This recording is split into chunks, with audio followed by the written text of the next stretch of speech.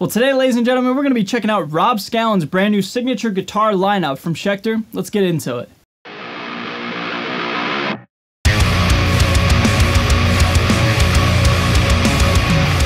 So what is going on everybody? Thank you so much for joining me for today's video. My name is Ray, I'm a guitar player here on YouTube, and I just have to say a huge congrats to Rob Scallon. This is massive, man. I haven't done too much research on this topic I'm about to bring up, but I don't know if there's ever been a guitar player ever to get a 6, a 7, and an 8 string guitar at once, at one time, at an initial launch. Maybe somebody out there, but even regardless, man, there's only a couple other players that I can think of that have a six string, seven string, and eight string signature guitar. I mean, Stephen Carpenter and John Petrucci are like the only two that I can think of. So really amazing to see this, you know, be all dropped and released at once. So congrats to Rob. It's pretty amazing. So I'm on the Schecter Guitars website, and I just want to just, you know, check them out real quick, just look them over, and just give my thoughts and opinions on them, okay? So starting right off, what I think is my least favorite of the three is the plain old regular six string. Now obviously there's nothing wrong with this guitar, but aesthetically it's a little bit more reserved.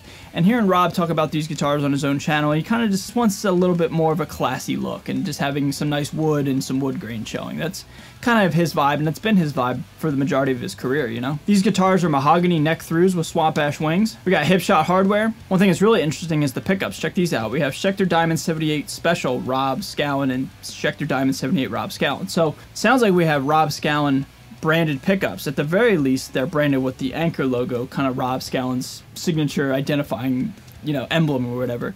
Um, so I don't know if they're voice for Rob, but they're definitely, um, you know, a little special because they have the Anchor decal on them. So that's a cool, nice little, cool little added touch there. Locking tuners, 25 and a half inch scale, Hipshot hardware if I didn't say that already. Just a really kind of classy, nice looking guitar. I mean, I really like these photos down here where you can see the back and you can see the wood grain, see the mahogany, the natural wood. Looks really, really nice.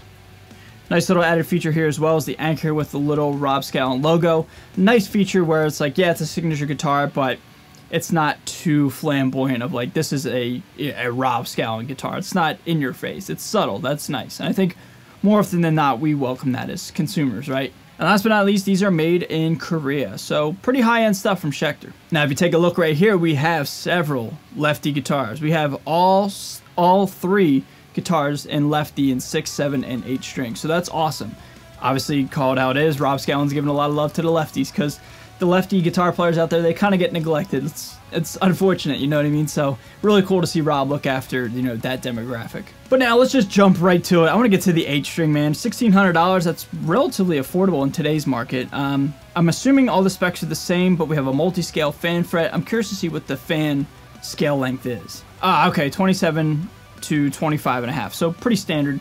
Uh, that's what most multi-scale guitars that I've ever, you know, come across you know are, are specced out as. So 27 on the low, 8 string.